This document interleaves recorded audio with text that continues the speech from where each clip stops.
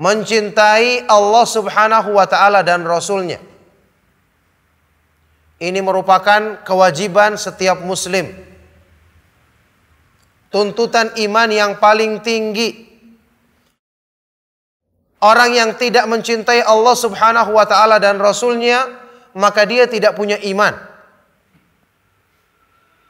Ibadah kepada Allah yang tidak dilandasi dengan cinta, ibadah yang tidak diterima.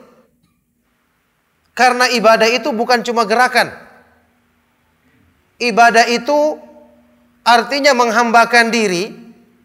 Yang di situ ada unsur dua unsur besar. Ketundukan dan kecintaan.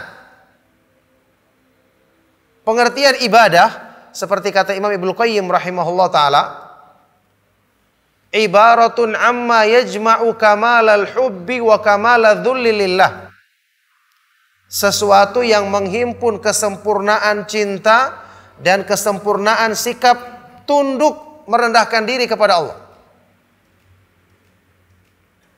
Makanya mencintai Allah Subhanahu wa taala dan Rasulnya sallallahu alaihi wasallam ini merupakan puncak dari keimanan. Kita ketahui bersama Rasulullah sallallahu alaihi wasallam dalam hadis riwayat Imam Bukhari dan Muslim pernah bersabda, "Thalathun man kunna fihi wajada bihinna halawatal iman." ada tiga sifat, tiga perkara yang barang siapa memilikinya, dia akan merasakan manisnya iman, kesempurnaan iman. Yang pertama adalah ayyakunallahu wa rasuluhu ahabba ilaihi mimma siwahuma.